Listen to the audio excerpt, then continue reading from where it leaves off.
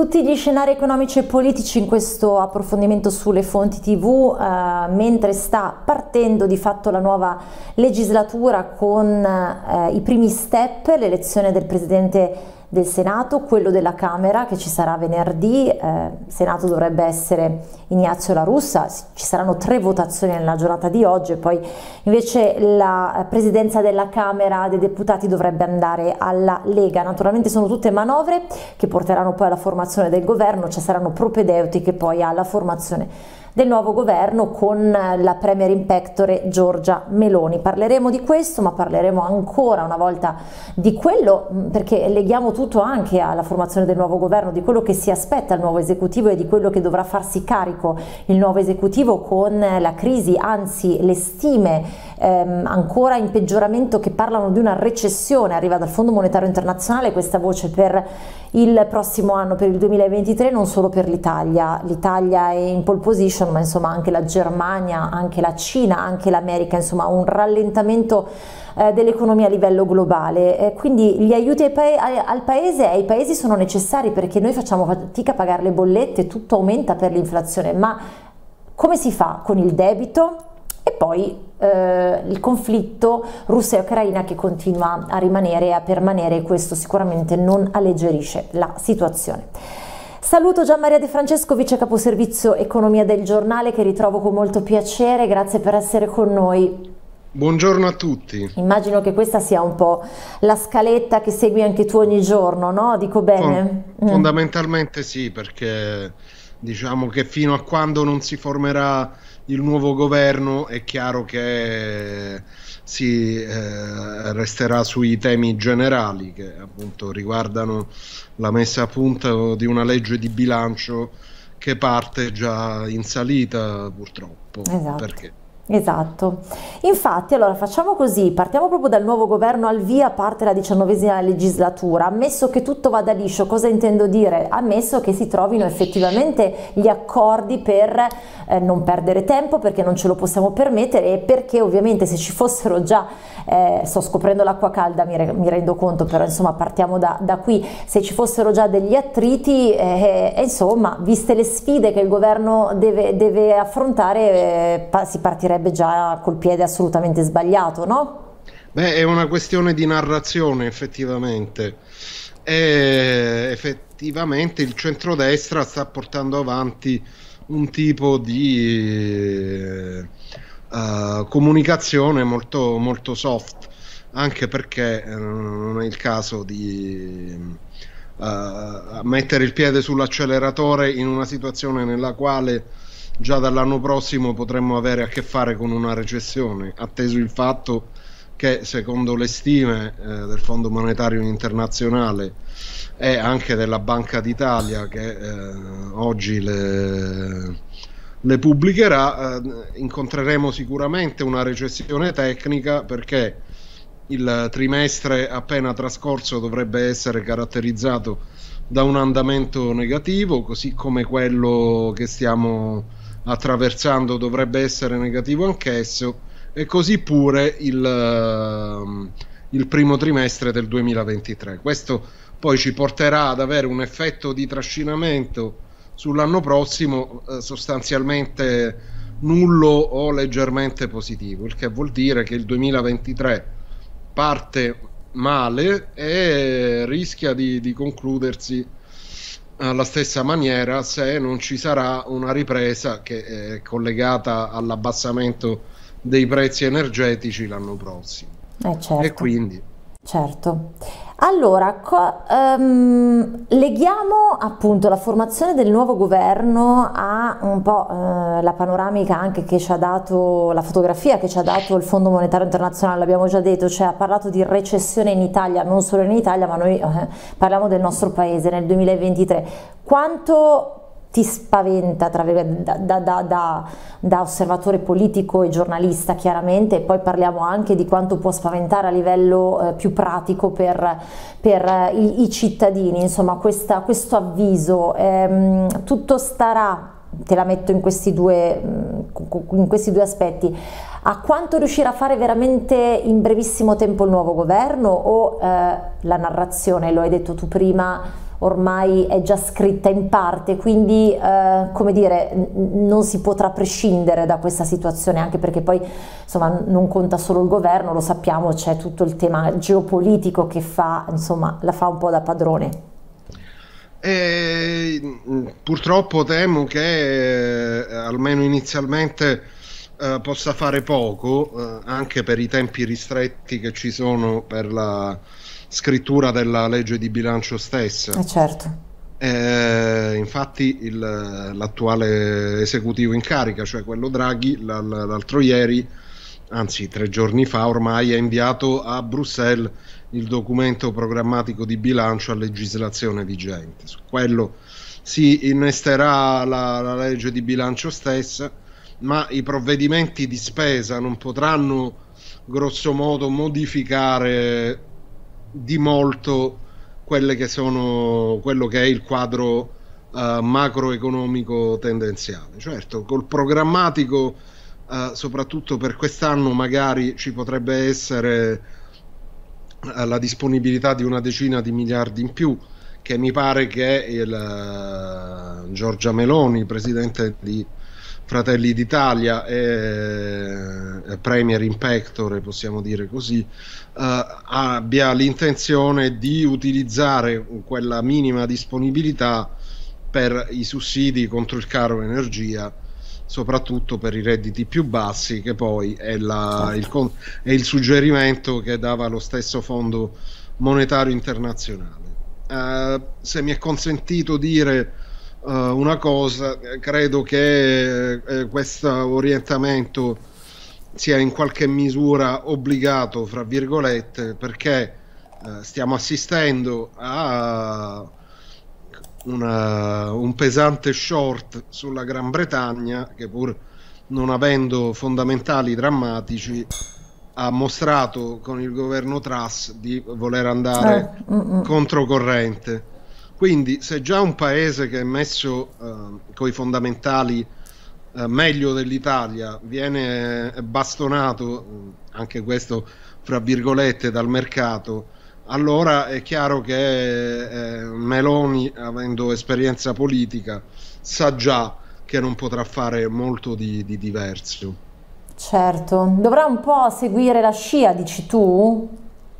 E non potrà sicuramente fare voli pindarici, diciamo certo, così, certo, perché eh, ha un po' le mani legate, diciamoci la verità, ecco. Eh sì, purtroppo eh, sì.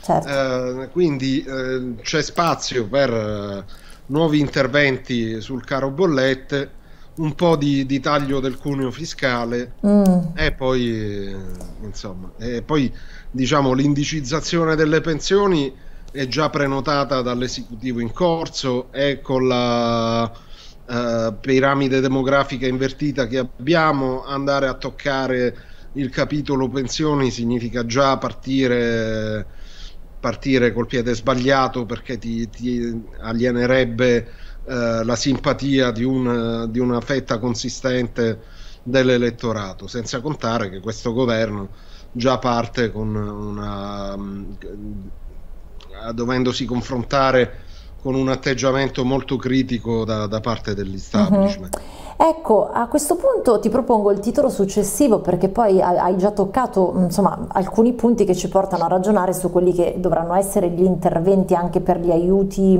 alle famiglie, alle imprese eh, che, che, insomma già da mesi soffrono e, e questo ci ha già causato una, dire, una, fetta di mercato mancata perché molte aziende hanno chiuso, hanno ridotto la produzione, insomma la sappiamo la situazione economica qual è, però eh, aiuti al paese necessari ma senza debiti. Come fare? Si parla molto di eh, ricorrere allo scostamento di bilancio, però sarebbe ovviamente una politica in deficit, questo andrebbe, andrebbe a aumentare il nostro debito pubblico già elevato, però insomma se non si fa questo com'è possibile recuperare le risorse?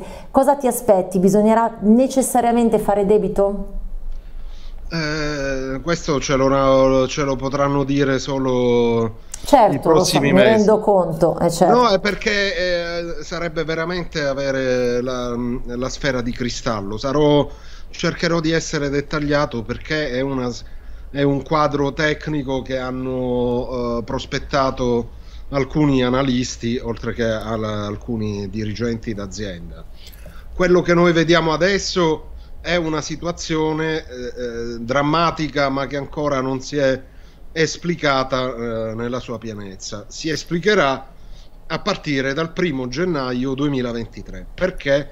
Perché eh, scadono contratti di acquisto gas eh, a prezzi diciamo 2020 inizio 2021 e entrano in, uh, in vigore eh, ma in realtà diciamo uh, iniziano a diventare validi contratti di acquisto gas sui prezzi attuali. Quindi imprese famiglie si troveranno ad avere a che fare con costi del gas che saranno raddoppiati rispetto non, alla situazione dell'inizio di quest'anno e non ci sarà uh, dire, un, un, paracadute. Allora, che cosa si... Eh, non si può dire adesso quale sarà la, la decisione che sarà presa. Se l'Unione Europea trova uh, l'accordo per il famoso shore dedicato alla, all'energia,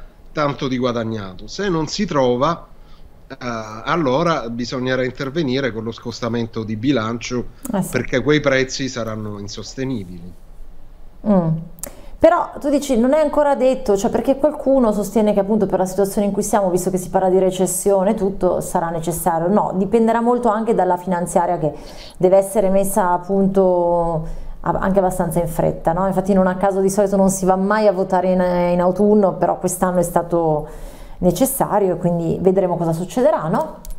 Ma sì, eh, cioè il, il, discorso sul caro energia sì. in, in, legge di bilancio potrà avere uno spazio più o meno limitato, secondo me, perché quegli interventi andranno nel decreto collegato perché ci sono, ci, eh, ci sono alcuni sussidi in scadenza, primi i primi sono quelli sulla benzina che scadono, scadono questa domenica. Poi certo basta un decreto ministeriale per prorogarli, però è il caso di mettere a punto anche per, uh, per i mesi che verranno tutta la prosecuzione del, del taglio di accise e del taglio dell'IVA.